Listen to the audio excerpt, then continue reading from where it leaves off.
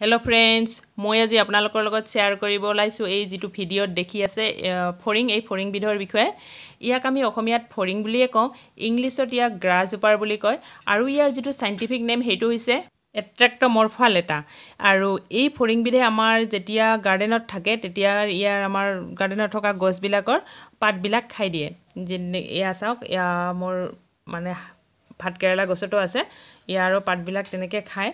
আৰু থাকনি বা ফুলনিত ই য'তেই থাকে ই খাই দিয়ে। এনেকৈ খাই দিয়ে।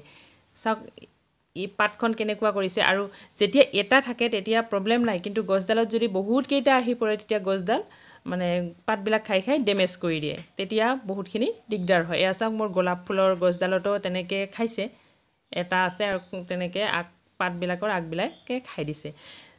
এনেকৈ এটা থাকিলে আমি গুচাই দিব পাৰোঁ। এটা বা দুটা থাকিলে গুচাই দিব পাৰোঁ। কিন্তু বহুতখিনি থাকিলে আমি পেষ্টিচাইড ইউজ কৰিবলগীয়া হয়। সেয়া হোম মেডে হওক বা আমি যিটো কেমিকেল পেষ্টিচাইড ইউজ কৰোঁ তেনেকৈ হওক পেষ্টিচাইড ইউজ কৰি ইয়াক গুচাব লাগিব। বা আপুনি নিম অইলো ব্যৱহাৰ কৰিব পাৰে। ফ্ৰেণ্ডছ ভিডিঅ'টো ভাল লাগিলে লাইক কৰিব শ্বেয়াৰ কৰিব আৰু মোৰ চেনেলটোত যদি নতুন হয় তেতিয়াহ'লে ছাবস্ক্ৰাইব কৰিব। নেক্সট ভিডিঅ'লৈকে বাই